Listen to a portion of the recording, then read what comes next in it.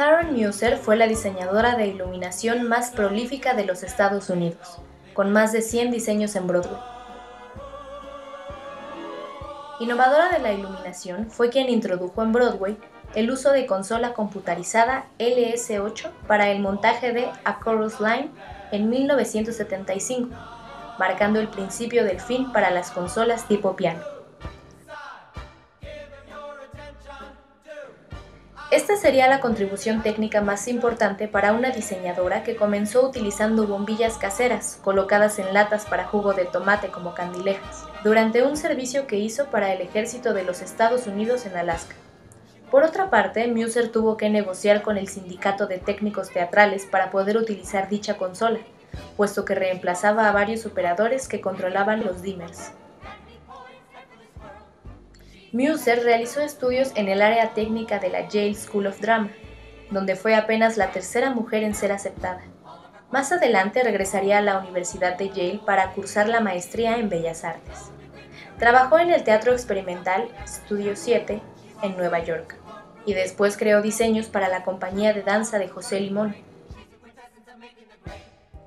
Su gusto por la danza se reflejó en su primer diseño para Broadway, iluminando de manera poco convencional el estreno mundial de Viaje de un largo día hacia la noche, de Eugene O'Neill, dirigido por José Quintero. Muser opinaba que los diseñadores solían utilizar demasiado equipo en la escena, por lo que no producían un punto de vista o estilo, sino solo papilla o iluminación de supermercado. Los problemas técnicos deben resolverse en la planeación, y no utilizar mucho equipo solo para tapar los errores.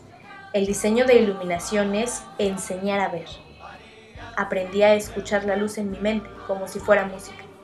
La iluminación es un medio de entendimiento entre el actor y su público, decía. También colaboró con la empresa de efectos teatrales Rosco.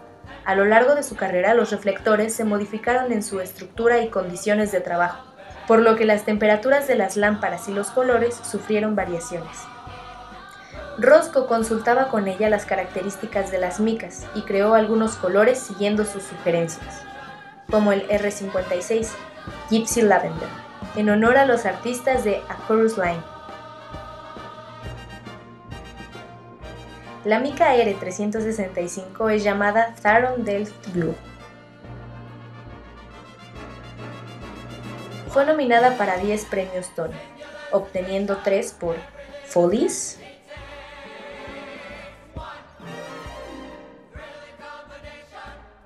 A Chorus Line,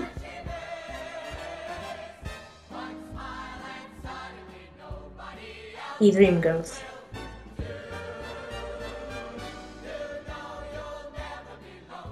También diseñó para producciones off-Broadway ópera y para giras internacionales del American Repertory Theatre. Dos noches después de su partida, los teatros de Broadway realizaron un fade-out general en su honor.